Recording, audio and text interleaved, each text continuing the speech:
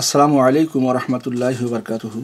আলহামদুলিল্লাহ ওয়াহাদা ওয়াসালাত ওয়াসালামু আল্লাহ রাসুলিল্লাহ ও আল্লাহ আলহি ও আল্লাহ সাহাবি আজমাইন। সম্মানিত দিনী ভাই বোন বন্ধু, আপনারা যে যেখানে যে অবস্থায় আছেন, আশা করি আপনারা ভালোই আছেন আর আপনাদের দোয়া আমিও ভালো আছি। আলহামদুলিল্লাহ। তো আজকে শুরু করতে যাচ্ছি আটত্রিশতম পর্ব আল কোরআনের আলো। তো শুরুতেই যে একটা কথা বলতে চাই, সেটা হলো যে, আলহামদুলিল্লাহ, আল্লাহ রবুল আলমিন বড় দয়া করেছেন যে আমরা শেষ করতে পারলাম মানে সুরা বাখারার আজকে শেষ পর্ব, আটত্রিশ নং পর্ব এবং শেষ পর্ব। আমরা সে শুরু করেছিলাম এবং আপনারা যারা এই আমার এই প্রোগ্রাম দেখেছেন, লাইক, কমেন্ট করে আমাকে উৎসাহিত করেছেন এবং যারা শেয়ার করে বিশ্বময় ছড়িয়ে দিয়েছেন, তাদের কাছে আমি কৃতজ্ঞ কৃতজ্ঞ প্রকাশ করছি এবং আপনাদের জন্য দোয়া করছি, আল্লাহ রাবুল আলমিন আপনাদের এই ভালো কাজটির দরুন, সে কি আমাদের কঠিন মুসিবতের দিনে আল্লাহ রাবুল আলমিন যেন আপনাদেরকে এই নাজাদের একটা উশিলা করে দেয়।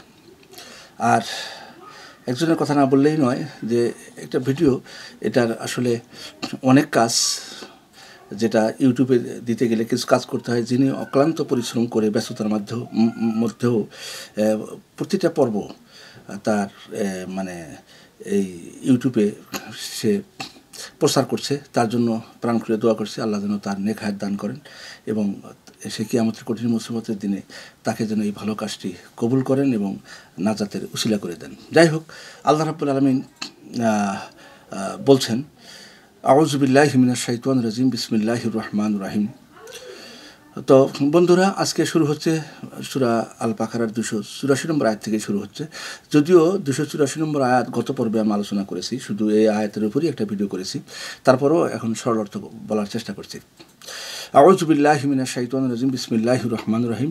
লিল্লাহি মাহফিস সামাওয়াত ও মাহফিল আর্থ আসমান এবং জমিনের ভিতরে যা কিছু আছে, সব কিছু আল্লাহ রাব্বুল আলমিনের। ওয়াইন তুবদু মাফি আংফুসিকুম আউতুকফুহু তোমাদের অন্তরের ভিতরে যা কিছু আছে, সেটা যদি প্রকাশ করো অথবা গোপন করো। ইউ কুম বিহিল্লা আল্লাহ তার হিসাব নেবেন। যদিও এই ওয়াইন তুবদু এই আয়াতটি মানসুক হয়ে গেছে পরবর্তীতে, এটা গতবার আলোচনা করা হয়েছে। ফাইয়াক ফিরুলি মাইয়াশা ওয়া ইউ আজ্জিবু মাইয়াশা আল্লাহ যাকে ইচ্ছা করেন তাকে মাফ করে দিবেন আর যাকে ইচ্ছা করবেন তাকে আজাবে নিক্ষেপ করবেন। অল্লাহ আলা কুল্লি শাইন কদির। আর আল্লাহ প্রত্যেকটা জিনিসের উপর ক্ষমতাবান। আমানার রাসুলু বিমা উংজিলা ইলাইহি মির রব্বিহি। তার রবের পক্ষ থেকে রাসুলের উপর যা নাজিল করা হয়েছে, রাসুল তার উপর ইমান এনেছে। অল মিনু এবং মমিন যারা আছে, তারা ইমান এনেছেন। কুল্লুন আমানা বিল্লাহি, সবাই আল্লাহর প্রতি ইমান এনেছে। অল মালাই কাতিহি তার ফেরস্তা গুণের উপর ইমান এনেছে। ওয়া কুতুবিহি, তার গ্রন্থগুলোর উপর ইমান এনেছে। ওয়া রসুলিহি, এবং তার রসুলগণের প্রতি ইমান এনেছে।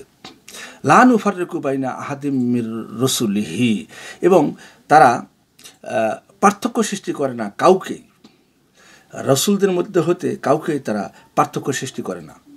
অকলু সামে না ওয়া তা না তারা বলে, আমরা শুনলাম এবং বিনা দ্বিধায় মেনে নিলাম। গোফরা নাকা আমাদেরকে মাফ করে দাও। রব্বানা, হে আমাদের রব ওয়াইলেই কালমাসির এবং তোমার কাছেই সব প্রত্যাবর্তিত হবে। তোমার কাছেই সবাই প্রত্যাবর্তন করবে। তুমি আমাদেরকে মাফ করে দাও। লানুফ লা নফসান ইল্লা উসাহা। আল্লাহ রাব্বুল আলমিন কার্যভার দেন না কোনো ব্যক্তির উপরে। কার্যভার দেন না ইল্লা উসাহা, তার সামর্থ্য আছে অর্থাৎ সামর্থ্যের বাইরে আল্লাহ রাব্বুল আলমিন কার্যভার চাপিয়ে দেন না। লাহামা কাসাবাত, সে যে নেকি করেছে, তার, সে যে নেকি অর্জন করেছে, তার ফল তাকে দেওয়া হবে। তার ফল তার জন্য। ওয়া ওয়া আলাই হা মা, মাকতাসাবাত। এবং সে যে পাপ করেছে, তার প্রতিফল তাকেই ভোগ করতে হবে। আর ইমানদারেরা, তোমরা এইভাবে দোয়া করো।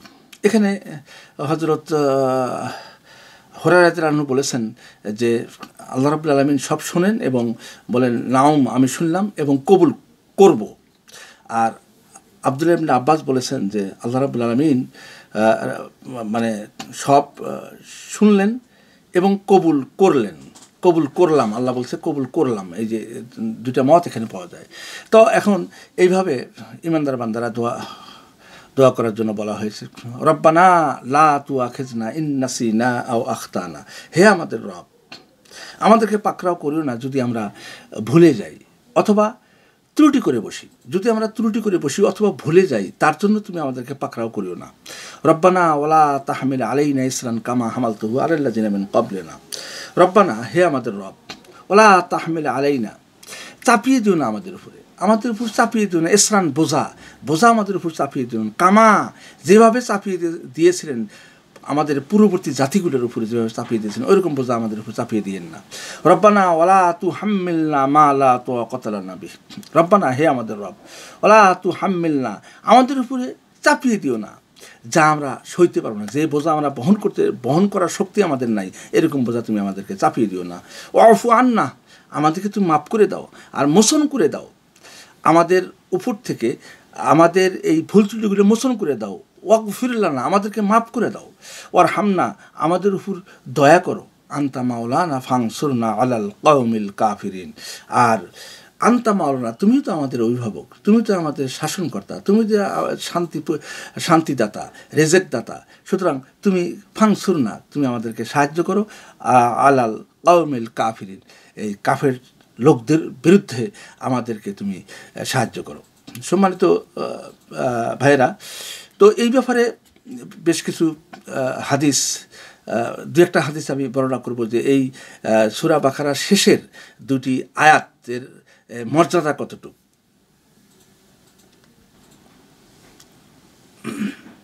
ইমাম বুখারি বলেন যে আবু মাসুদ বলেছেন যে রাসুল্লাহ সাল্লাহ সাহেব বলেছেন, মান কারাবেল আয়াতাইনে মিন আখিরে সুরাতেল বাকারা ফিল লাইলে কাফাতাহু। যে ব্যক্তি রাতের বেলা সুরা বাকারা শেষ দুটি আয়াত পাঠ করবে, এই দুটোই তার জন্য যথেষ্ট। সুবাহান্লাহ তো ইমাম মুসলিম বলেছেন আবদুল্লাহ রাজিয়াতু বলেছেন রাসুলাম বলেছেন যে রাসুলাম যখন ইসরায় গিয়েছিলেন, তিনি ষষ্ঠ আকাশে সিদ্ধাতুল মন্তাহা আরোহণ করলেন। সেখানে শেষ হয় যা পৃথিবী থেকে উপরে ওঠে আর তার উপরের থেকে যা যা নামে। সেখানে তাকে তিনটি জিনিস দেওয়া হয়। রাসুলামকে তিনটি জিনিস দেওয়া হলো সেখানে। পাঁচক্ত এক নম্বর হলো পাঁচক্ত সলাৎ দুই নম্বর হলো সুরা বাখারার শেষ দুটি আয়াত এবং তিন নম্বর হলো উম্মতের এমন ব্যক্তির জন্য ক্ষমা যে কাউকে বা কোনো কিছুকে আল্লাহর সঙ্গে শরিক করে না। ইমাম আহমেদ বলেন জুনাহি রাজিত রানহু বলেছেন রাসুল সাল্লাহ সাল্লাম বলেছেন ইকরাল আয়াতাইনে মেন আখিরি সুরাতিল বাকারা, ফাইন্না আ ফাইন্না আ তাই তু হা মিন তাহাতিল আর্শ। সুরা বাকারা শেষ আয়াত দুটি পাঠ করো। অবশ্যই আমাকে সেটা আরসের নিচে অবহিত ভাণ্ডার হতে আমাকে দেওয়া হয়েছে, দান করা হয়েছে।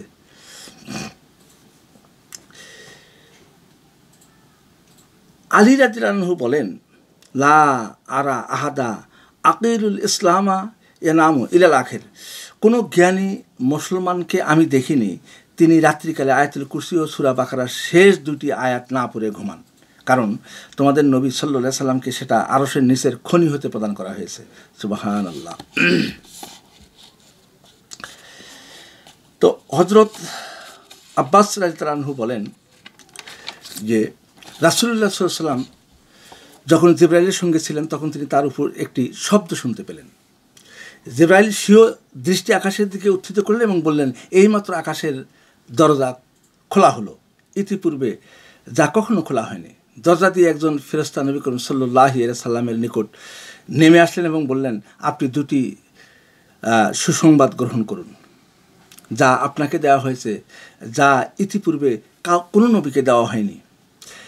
কেতাবের সূচনাকারী আল ফাতেহা এবং সুরা বাখারার শেষ দুটি আয়াত, আপনি এগুলোর যে অক্ষরেই পাঠ করবেন, আপনি তার জন্য উপকার প্রাপ্ত হবেন। এবং শেষ একটি হাদিস বলেই আজকের এই পর্ব শেষ করব। আবু মোহাম্মদ আবদুল্লাহ বিন আব্দুর রহমান আল দারিমি তার মুসনাদ উল্লেখ করেছেন যে তিনি বলেন, এক ব্যক্তি বলল, হে আল্লাহর রাসূল, আল্লাহর কেতাবে সবচেয়ে বড় সম্মানিত আয়াত কোনটি? তিনি বললেন, আয়াতুল কুরসি। আল্লাহুলা ইলহিল্লাহুয়া লোকটি বলল, অতপর আল্লাহর কেতাবের কোন আয়াত এমন যার বরকত আপনার এবং আপনার উম্মতের প্রতি উম্মতের প্রতি মানে পৌঁছাইতে আপনি ভালোবাসেন? কোন সেই আয়াত? তিনি বললেন, সুরা বাখারা শেষ দুটি আয়াত। কেননা আল্লাহ তালা তার আরশের নিচের ভাণ্ডার থেকে তা এই উম্মতকে দান করেছেন। দুনিয়া এবং আখরাতের এমন কোনো কল্যাণ নেই যা এর মাঝে নেই। সুবাহান আল্লাহ সম্মানিত দিনে ভাই বোন বন্ধু, তো আজকে সুরা বাখারা শেষ করলাম। আগামী পর্ব ইমরান দিয়েই শুরু হবে ইনশাল্লাহ আর আপনারা আমার পাশেই থাকবেন, আমার জন্য দোয়া করবেন, আমি যেন এই প্রোগ্রাম ধারাবাহিক পরিচালনা করতে পারি। আল্লাহ রব আলমিনের কাছে এই আশা, এই দোয়া চেয়ে আজকে এখানেই শেষ করছি। ওমা আলাইন ইল্লাল বালাক সুবানাক আল্লাহ বিহামদিকা আসাদুল্লাহ ইলাইল্লাম আতুবু ইলাই আসসালামু আলাইকুম ওয়া রাহমাতুল্লাহি ওয়া বারাকাতুহু।